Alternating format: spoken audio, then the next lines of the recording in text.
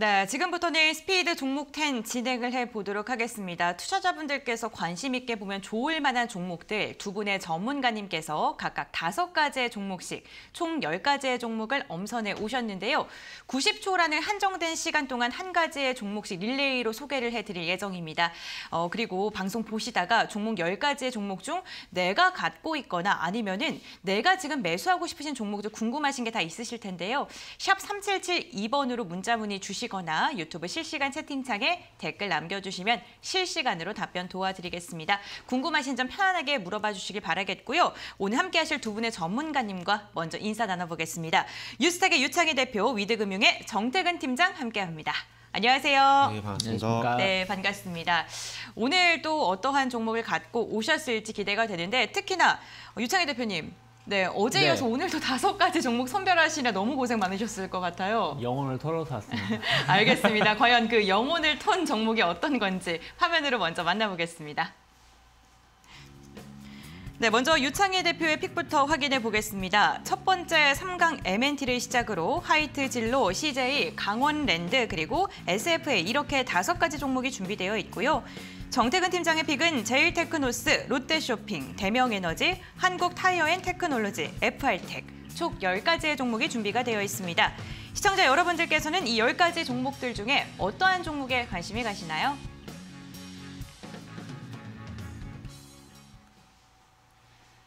네, 먼저 유창희 대표님의 첫 번째 종목부터 이야기 나눠보겠습니다. 네. 어떤 종목일까요? 뭐 상강 MNT를 선정을 좀 했는데요. 네. 이 회사가 이제 지금 주력을 하고 있는 게 이제 그 해상 풍력 관련해서 하부 구조를 어, 설치를 하는 어, 그 부분 사업 부분을 좀 키우고 있는데 이 부분이 지금 엄청 좀 확대되고 있죠. 어, 무슨 말이냐면은 대만에서 해양 풍력 단지를 만들었을 때 말한 것이 상강 MNT라는 회사가 없었으면 이건 실패 이, 사- 이 사업은 실, 성공하지 못했을 아, 것이라고 네. 말을 할 정도였거든요. 이 해, 풍력이라는 게 이제 지상에서 해양으로 가는 것이고 해양으로 갔을 때는 이 풍력 지지대를 고정시켜줘야 되는데 이거 관련해서 우리나라 상당히 높은 기술력을 가지고 있는데 그것이 상강 MNT 가지고 있다는 것이죠. 그래서 뭐 유럽도 지금 풍력, 해양 풍력 관련해서의 어, 증가 계속 기대가 되고 있고 국내도 해양 풍력 쪽으로 어, 계속해서 단지 조성을 준비하고 있기 때문에 안정적인 매출 계속 기대할 수 있다 생각을 좀 하고 있고요. 또 LNG 생산 관련된 어, 설비 제조 관련돼서 매출도 계속 늘어나고 있습니다. 수요가 계속 늘어나고 있기 때문에 지금 공급이 부족합니다. 그래서 가격도 정상적인 가격을 받을 수 있고 지금 전체적으로 상가 MNT의 수주 잔고 한 2년치가 쌓여 있다고 하는데 이런 수주 잔고도 계속해서 늘어날 여지가 있다 생각을 좀 하고 있습니다. 그래서 저는 뭐 안정적인 그 매출 증가 기대를 좀 해본다라면 최근에 좀 실적 발표하고 나서 주가가 좀 올라왔다가 좀 옆으로 행보하는 모습 보여주고 있지만 저는 충분히 뭐 2만 원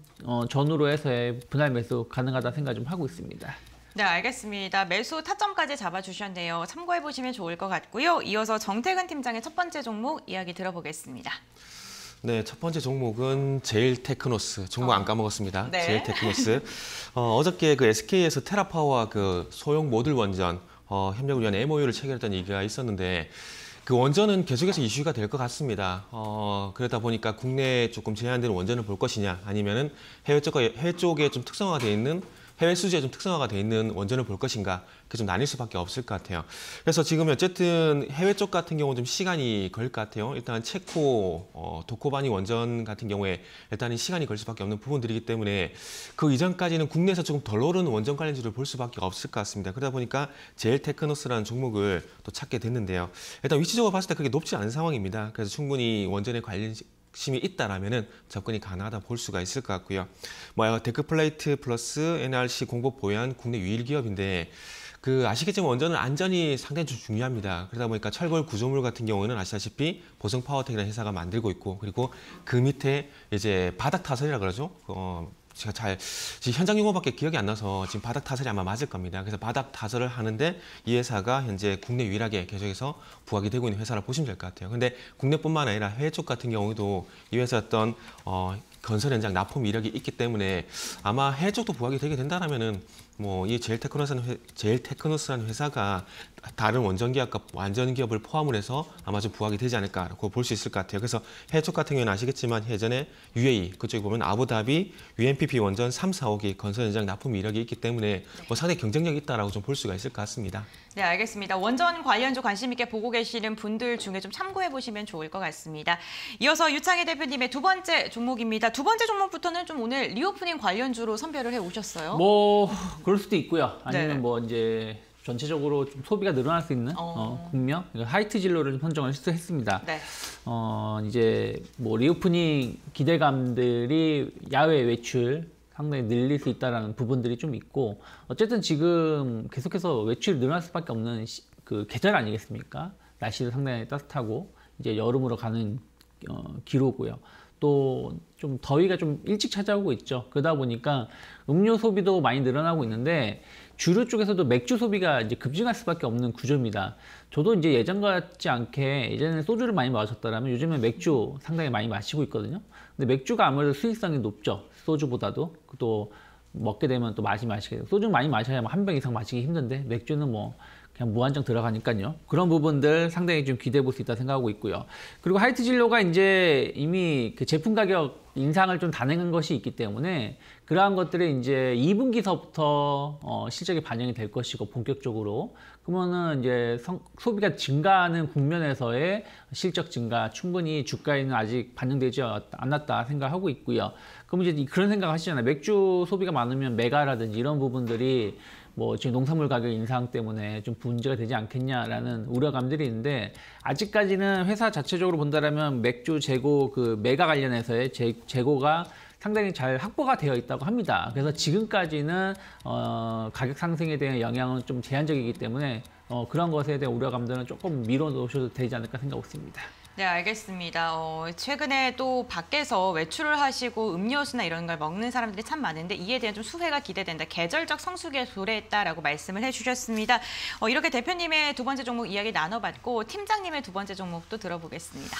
어, 아까 말씀하신 reopening 같은 네. 경우는 제 종목이 거기 좀 부합이 될 것 같아요. 네. 롯데쇼핑을 준비를 했습니다. 최근에 뭐 결론적으로 백화점 매출이 계속 증가를 하다 보니까 네. 일단은 백화점 관련된 종목들 중에서 롯데쇼핑이 주가 상당히 좀 괜찮은 흐름이 전반적으로 나오고 있습니다. 이게 전반적으로 엔데믹 효과라고 좀 봐야 될 것 같은데 그 거리두기 해제 이후에 아시겠지만은 도심의 유동인구가 상당히 많이 증가를 했습니다. 그래서 이 유동인구들이 어, 야외도 돌아다니겠지만 실내 복합 쇼핑몰 같은 경우는 실내도 많이 좀 유입이 될 건데 그러다 보니까 백화점도 마찬가지로 유입 인구가 좀 많이 늘어나게 되고 그리고 백화점에 이제 또 갇혀있던 공간들 쓰지 못했던 공간이 또 열리게 되겠죠. 어, 백화점 출입은 가능하지만은 그동안 잘 아시겠지만은 누누이 말씀했지만은 뭐 식당이라든지 카페 같은 경우에는 이용하지 못하는 공간들이 분명히 있었거든요. 근데 그런 부분 이제 이용이 가능하게 되면서 이게 다 매출로 연결이 될 수가 있다라는 거죠. 거기가 또 사람으로 채워질 수밖에 없는 거고요. 그래서 그런 것 때문인지 모르겠지만은 어쨌든 거리두기 해제 이후에 어, 백화점 3세 어떤 매출 신장률이 어, 27%가 증가했다는 얘기가 나오고 있습니다. 이게 이제 2분기 실적에는 충분히 이제 반영이 될 가능성이 상당히 높다라고 보시면 될 것 같고요.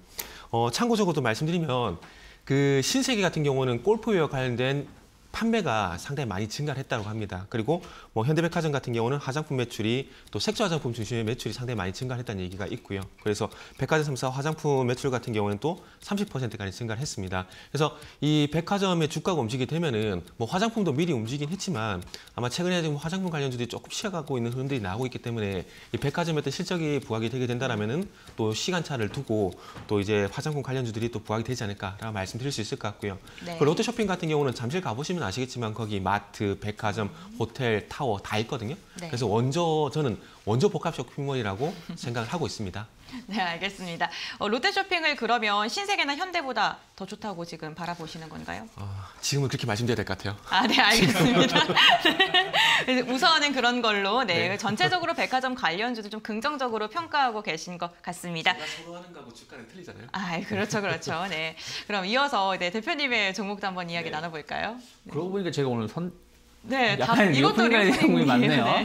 네. CJ를 선정했는데 CJ가 진정한 reopening 뭐 종목이라고도 볼 수 있죠. 왜 그러냐면 그 CJ 같은 경우 계열사들이 다 이런 소비 관련된 기업들이에요. 근데 참 이게 reopening 어, 수혜주일 수도 있고 또 반대로 또 뭐 그 뭐랄까요? 그 규제 아니 규제보다 그 패, 저기 뭐냐, 죄송합니다. 아무튼 그런 부분들에 대해서 이제 그 요거가 생각이 안 나는데 어쨌든 CJ가 어 전체적으로 봤을 때 저는 나쁘지 않다 생각하고 있어요. 그러니까 그 시장 팬데믹 관련해서도 수혜주가 될 수 있죠. 뭐 관련된 뭐 OTT 서비스라는 이런 것도 있으니까. 그래서 어 이번에 어쨌든 reopening이 진행이 되면서 극장 관련해서의 어떤 수요 충분히 기대해 볼 수 있고 또 CJ 푸드빌 관련해 가지고 또 이제 외식 수요가 급증할 수 있다는 부분들 그런 것들도 저는 상당히 수익성이 증가할 수 있다 생각을 좀 하고 있습니다. 그래서 전체적으로 CJ 그룹 자체가 CJ 제일제당이든 뭐든 약간 소비 관련된 기업들이 많기 때문에 그런 것들을 좀 지켜보실 필요가 있고요. 또 이제 기업들이 IT 투자를 좀 재개를 합니다. 좀 많이 늘리면서 CJ 올리브 네트워크스에 대한 실적이 상당히 기대가 되고 있습니다. 즉 어, 영업이익도 좀 계열사 중에서도 좀 개선되는 부분들이 좀 있고요. 또 하나는 이제 올리브 영이죠.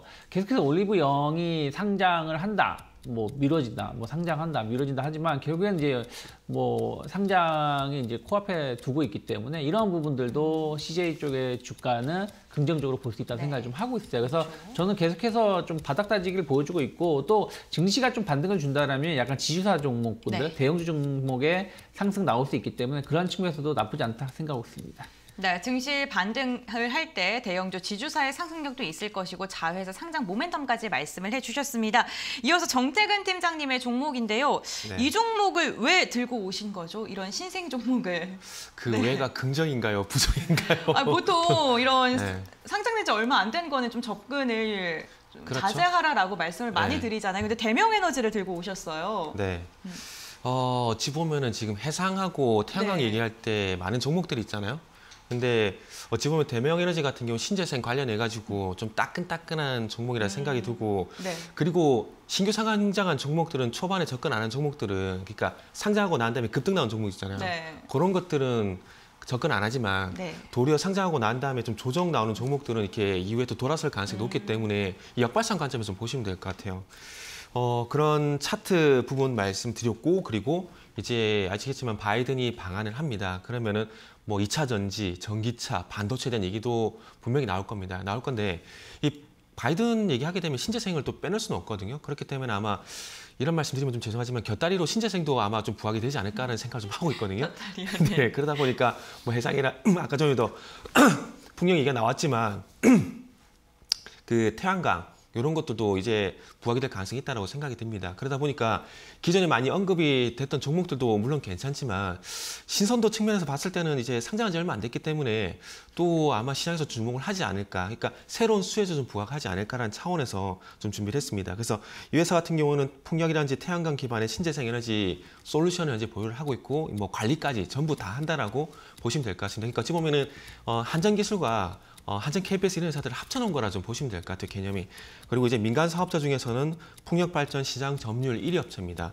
뭐 공기업인 뭐 동서라든지 동서발전이라든지 남부발전을 제외를 하고 민간 사업자 중에도 1위이기 때문에 아마 풍력 얘기가 나오게 되, 풍력 얘기가 나오게 되면 네. 앞으로 좀 관심을 가져야 되지 않을까라는 판단에 준비를 했습니다. 네, 알겠습니다. 대명에너지 지금 현재 2%가량 밀리면서 14,000원인데 공모가가 15,000원입니다. 현재 구간 공모가 하회하고 있다는 점도 참고해 보시면 좋을 것 같고요.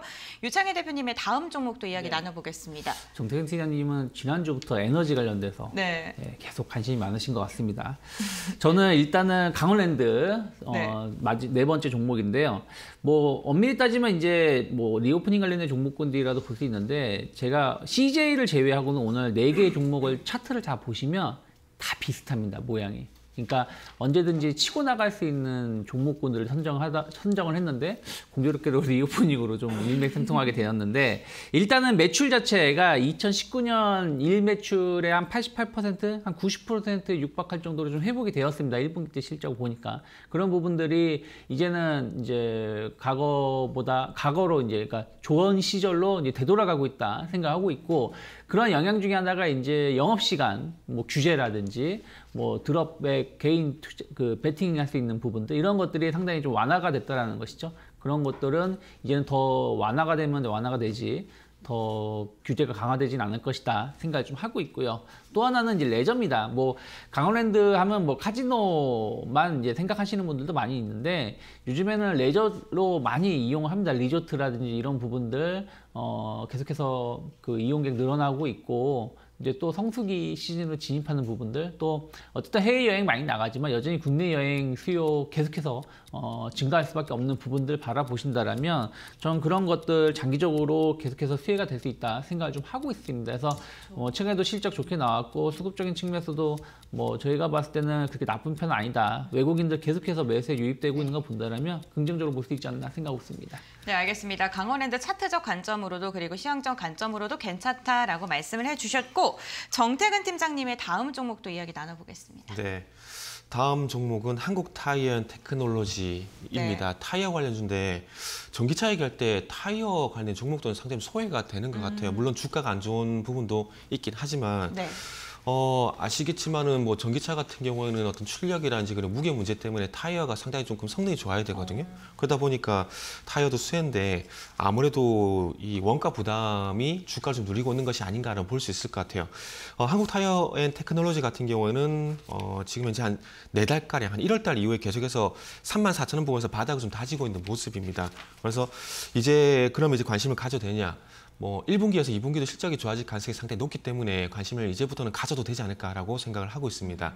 1분기 실적 잘 나왔고요. 그리고 2분기 실적도 좋을 것이라는 평가가 나오고 있는데 어 제가 서두에 그 원가에 대한 얘기를 했는데 제품 가격을 1분기에서 2분기에도 이제 인상을 좀 진행하게 됩니다. 그러면 이제 원, 어, 제품 가격 인상을 통해서 원가 부담이 좀 완화가 되는 상황을 좀 볼 수가 있을 것 같고요. 그리고 이제 뭐 미국 시장에서는 전기차가 확대될 것이라는 것은 누구나 다 알고 있습니다. 다 알고 있고 이 그리고 이제 한국 타이어가 어, 전기차 1, 2위 업체 테슬라와 그리고 폭스바겐은 이제 납품을 하고 있는 상황입니다. 그리고 미국의 완성차 업체도 전체 다 저- 납품을 하고 있는 상황이고요. 그렇기 때문에 어, 아마 앞으로 전기차 시장이 확대가 되게 된다면 다시 한번 주가 반등에 대한 부분들을 좀 기대를 해봐도 되지 않을까라고 생각을 하고 있고요. 그리고 전 세계 유일하게 또 전기차 전용 풀 라인업을 또 구축을 하고 있는 상황입니다. 여름용, 겨울용, 사계절용 18인치에서 23인치까지 다양한 라인업을 구축을 하고 있는 상황이기 때문에 아마 앞으로 전기차 관련돼서 얘기 나오게 되면은 타이어도 이제부터는 좀 관심을 가져보자라는 말씀 드리도록 하겠습니다.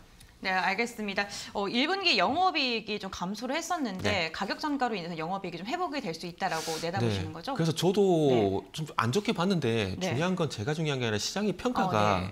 예상치보다 잘 나왔다고 좋게 평가를 하다 보니까 네. 저도 거기에 동조할 수밖에 없는 것 같아요. 네, 알겠습니다. 이렇게 한국 타이어 앤 테크놀로지까지 이야기를 나눠봤습니다. 지금 각각 네개의 종목씩 이야기를 들어봤고요. 한 종목씩을 남아둔 시점입니다. 오늘 어, 이렇게 우리가 이야기를 하고 있는 동안 중국 시장에 또 개장을 알린 만큼 중국 시장도 먼저 체크하고 마지막 종목 들어보도록 하겠습니다. 먼저 상해 종합지수 같은 경우 오늘 강보합으로 출발을 알렸습니다. 0.07% 오름세가 집계되면서 3,095포인트의 출발을 했고요. 항생지수 같은 경우에는 탄력이 조금 더 좋았습니다. 0.35%가량 상승하면서 2만 6 2674포인트 선에서 출발을 알렸습니다. 오늘 일본 증시의 탄력이 굉장히 좋은데요. 현재 구간에도 1%가 넘는 강세 흐름이 포착이 되고 있고요. 국내 증시 역시나 빨간불 지속적으로 그리고 있습니다. 유가증권 시장은 강보 합권 0.1% 오름세 집계되고 있고 코스닥 같은 경우에도 0.5%대의 상승력 보여주면서 870선 지지라인 형성하고 있습니다. 거래소 시장에서 외국인의 매수세, 매수의 폭이 점점 더 넓어지고 있다는 점도 긍정적인데 다만 선물 시장에서의 매수 의 폭이 조금 줄어들었다는 점 아쉽습니다. 개인이 거래소 그리고 코스닥 양시장에서 모두 다 홀로 매수 우위를 보여주고 있습니다. 기관은 전거래 강하게 담아내는 만큼 양시장에서 모두 매물을 출회하고 있다는 점도 참고해 보시면 좋을 것 같습니다. 네, 이렇게 각각 네 가지의 종목씩 이야기를 나눠봤고요. 마지막 종목이 남아 있습니다. 대표님, 마지막 종목 어떤 종목인가요? 네, SFA를 선정을 좀 했습니다. 뭐 SFA 다들 아시다시피 이제 디스플레이 OLED 관련해서 장비를 공급하는 업체죠. 그래서 상당히 이제 TV 패널이 대형화되고 있고 그리고 뭐 삼성전자도 이제 OLED 시장 제품이 이제 본격 출시되고 있죠. 그런 부분들이 계속해서 어, 시장이 확대되고 있다 생각하고 있고 또 디스플레이 차량용 디스플레이도 OLED 어, 패널이 계속해서 적용되면서 계속해서 OLED 수요는 중형에서 대형으로 계속 변화가 되고 있다 생각을 좀 하고 있습니다. 그런 부분들 어 그러면 투자를 계속 해야 되고 관련해서 SFA, SFA가 세일을 입을 수 있다 생각을 좀 하고 있고요. 어 또 이제 그 반도체라든지 이런 부분들 관련해서 어떤 안정적인 매출 계속해서 나올 수 있다 생각하고 있는데 SFA를 좀 전 주목하고 있는 것 중에 하나가 2차 전지 쪽이에요. 그러니까 이번 1분기 때도 2천억이 넘는 매출이 나왔는데 2차 전지 사업 부분이 50%를 차지했습니다. 그전에는 어, 물류라든지 반도체 이런 쪽이 어, 비중을 차지했는데 2차 전지 시장이 50% 차지했다는 얘기는 새로운 성장 모멘텀으로 이제는 자리를 잡았다라는 것이죠. 최근에 2차 전지 관련된 종목군들 보시면 주력으로 하는 기업들 예를 들어서 뭐 그 LNF라든지 뭐 이런 기업들도 있습니다만은 진짜 탄력도 좋은 거는 원래 주력이 아니었는데 새로운 주력이 된 기업들 뭐 첨보, 후성 뭐 소, 이, 이- 그런 기업들이 잘 나가고 있기 때문에 SFA가 그런 측면에서 보신다면 상당히 소외받았고 저평가되어 있는 숨어 있는 진주가 아닌가 생각하고 있습니다. 네, 알겠습니다. 어, 이렇게 마지막 종목 들어봤고요. 정태근 팀장님의 마지막 종목도 이야기 나눠볼게요. 네, 어, 마지막은 5G 아, 관련해서 5G, 준비했습니다. 어, 지난주에 그 HFR 얘기도 있었는데 그 종목도 괜찮고 FR텍도 저는 괜찮다고 생각을 하고 있거든요. 일단은 아시겠지만 5월 초에 삼성전자가 DC 네트워크가 계약을 맺게 되면서 5G가 다시 좀 부각이 되고 있는 상황인데 일단은 아시겠지만 FR텍 같은 경우에는 일단 삼성전자에 납품을 하고 있는 상황이고요. 그리고 지금 Buy America 쪽 얘기를 보게 되면은 또 미국 현지 법인이 있는 회사가 아무래도 유리할 수밖에 없습니다. 그래서 그 두 가지 어떤 장점이 있는 회사라 보시면 될 것 같고요. 그리고 과거에 삼성전자가 또 Verizon과 계약을 맺었던 이력도 있는데 그 Verizon 향 그 5G RF 중계기를 납품했던 이력도 있는 상황입니다. 그래서 아마 삼성전자가 미국에 사업을 확대를 하게 되면은 그 속에서 많은 종목들이 있지만 은 뭐 FR텍도 마찬가지로 수혜가 되지 않을까. 그러다 보니까 주가가 좀 많이 좀 들썩이는 것 같습니다. 그- 그뿐만 아니라 국내 쪽을 보게 되면 그 5G 특화망에 대한 얘기가 상당히 많은데 이게 국내에서는 이음 5G라는 명으로 이제 서비스가 진행이 되고 있습니다. 그래서 국내는 네이버 그리고 LG CNS 그 세 번째 SK 네트워크스가 이 서비스를 이제 진행을 하고 있는데 어, 말 그대로 그 5G의 단점을 활용을 한 겁니다. 그러니까 지역에 제한을 시킨다든지 건물에 제한을 시켜서 거기만 주파수를 할당을 하는 거죠. 그래서 이 거리가 짧은 부분- 부분 을 단점을 활용을 역으로 하는 거라고 보시면 될 것 같은데 그러면은 어찌 보면은 그 건물 내 그리고 공장 내 지역 내 어떤 인빌딩 서비스 그 음영 지역에 대한 어떤 카바가 좀 분명히 필요한데 그런 부분들을 봤을 때 인빌딩 솔루션을 현재 개발을 완료를 했기 때문에 요 종목하고 이노와이어 요두 종목을 한번 같이 보시면 좋지 않을까 생각을 했습니다. 근데 차트적인 부분은 이노와이어보다는 FR텍이 좀 더 우위에 있기 때문에 오늘은 FR텍 한번 말씀드려보도록 하겠습니다. 네, 알겠습니다. 이렇게 두 분의 전문가님의 10가지의 종목 이야기 나눠봤는데 탑픽 종목도 선정해 보겠습니다. 대표님의 탑픽 종목은 어떤 걸까요? 네, SFA를 선정을 좀 했고요. 저는 충분히 현재가 오늘 좀 오르고 있지만 이 고점 돌파에 대한 기대감 계속 가져갈 필요 있다 생각을 좀 하고 있어요. 그래서 현재가 공략 가능하다 생각하고 있고요. 한 38,500, 38,000원이 크게 이탈하지 않는다면 분할 매수 충분히 할 수 있는 가격대라 생각하고 있고요. 일단 목표가 한 45,000원 정도 열어놓고 있습니다. 알겠습니다. 그럼 팀장님의 top pick은요? 어, 저는 top pick을 한국 타이어 앤 테크놀로지 선정했습니다. 바닥 탈출 한번 해보자 라는 관점에서 준비를 했고요.